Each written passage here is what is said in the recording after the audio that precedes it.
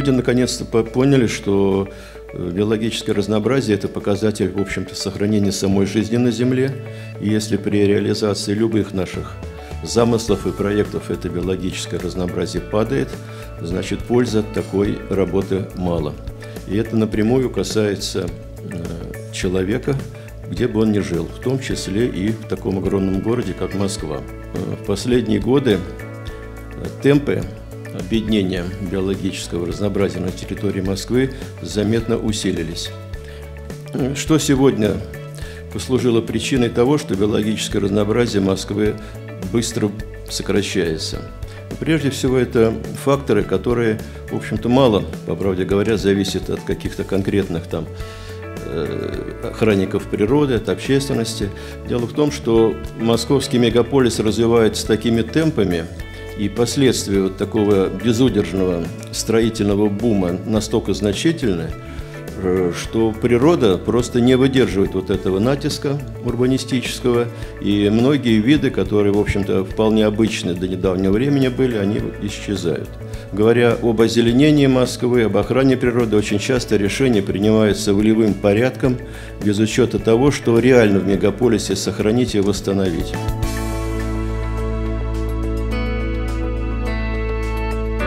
У нас просто имеются примеры, когда Москва архитектура оформляет разрешение на разработку проектной документации по строительству, допустим, спортивного комплекса на землях памятника природы, который находится в постоянном бессрочном пользовании у Мосприроды.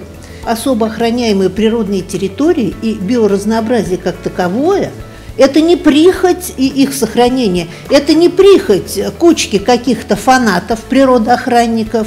Это наша жизненная необходимость, потому что во всем мире признано, что биоразнообразие – это один из важнейших факторов окружающей среды. От него зависит ее благополучие. Когда мы будем обсуждать э, проект рекомендаций, очень хотелось бы, чтобы в нем четко было прописано – что все работы, связанные с содержанием и организацией использования особо охраняемых природных территорий, начиная от планирования, проектирования и кончая э, исполнением этих проектов, оно было в одних руках у Мосприроды. Контроль должен быть у одной организации.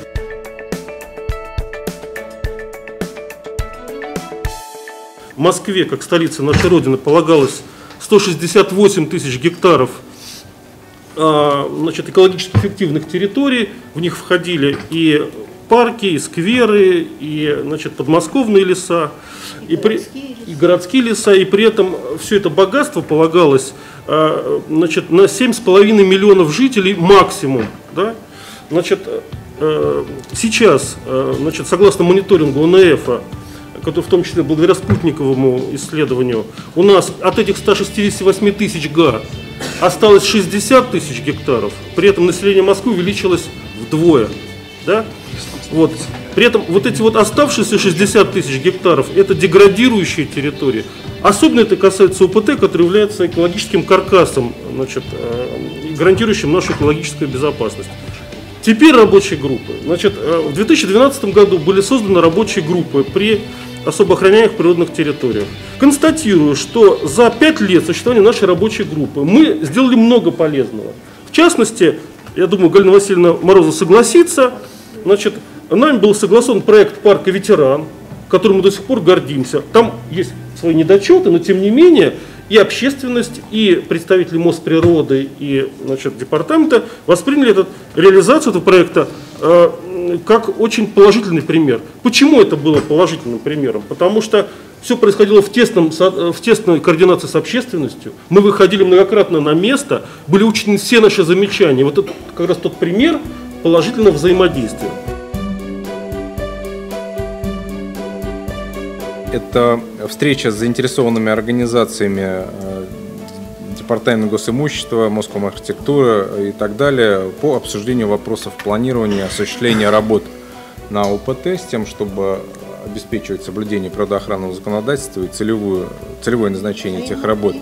А, Более того, может быть, э, это либо отдельно, либо здесь же рассматривать о том, э, ну, в общем, надо подумать под формулировкой, чтобы функция заказчика работы на ОПТ был, собственно, сам департамент, а не кто-то.